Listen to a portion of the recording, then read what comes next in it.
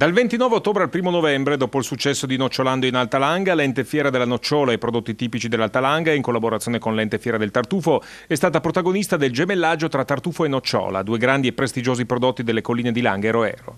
La nocciola e i prodotti tipici dell'Alta Langa sono stati protagonisti in un salotto del gusto e dei profumi in Piazza Duomo ad Alba. Il percorso ha fatto conoscere meglio le caratteristiche uniche e la qualità gustativa della nocciola Piemonte IGP, nonché la resa nelle varie trasformazioni e applicazioni culinarie, anche in un invitante e originale abbinamento con i prodotti d'eccellenza del territorio dell'Alta Langa.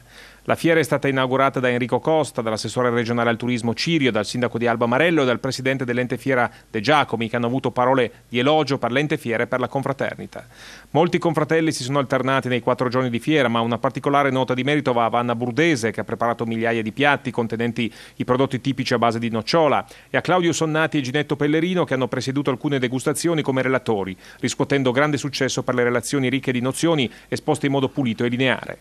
Anche il Gran Maestro Luigi Paleari, fuori sede per un evento sovrapposto, lunedì martedì non è voluto mancare un evento così importante. Grande è stata l'affluenza di pubblico e importanti le basi gettate per future collaborazioni della confraternita con diversi enti e istituzioni. Una visita anche di un'inviata del New York Times, alla quale è stata consegnata una copia dell'ultimo DVD prodotto per la confraternita dalla Video Berrino di Bra, dal titolo Corte Miglia e Nocciola. Il video per l'occasione è stato proiettato per tutti i quattro giorni e ha riscosso un notevole successo sia per i contenuti che per la qualità delle immagini in alta definizione.